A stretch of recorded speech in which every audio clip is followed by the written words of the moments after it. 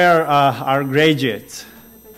Um, yeah, we're going to have the song. So we have Nikki there and Andrea. Where did Andrea disappear? Oh, she's right there. Uh, so we have several people.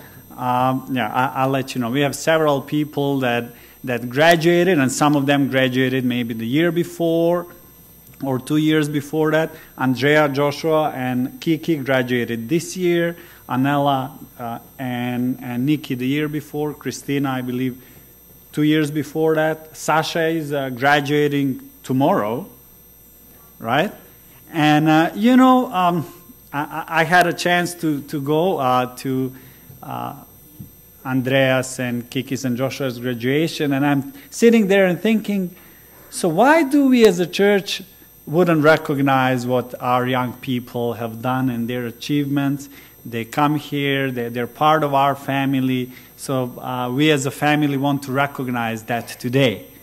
So uh, I'd like to invite uh, uh Zorana uh, on behalf of the youth department, and I'd like to invite Andrea and Nikki to come join us here just briefly. You won't regret. We, we, just have a little something for you. So on behalf of the youth department, uh, Teta Zorana will hand you out a little card and little gift inside.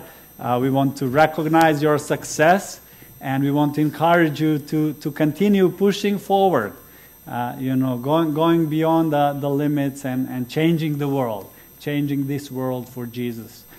So uh, uh may God bless you. Keep up the good work.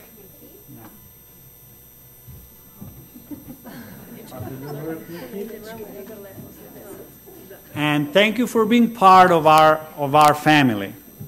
Uh, uh, we, we are moving more and more towards supporting more our youth, and we would really like you to go to the Youth Congress in Toronto, and we as a church want to support you. And there is uh, also a little help that you can get from the Coordinating Committee of Yugoslavian Churches. So let me know if you'd like to go, and, and we'll do everything we can to make it happen.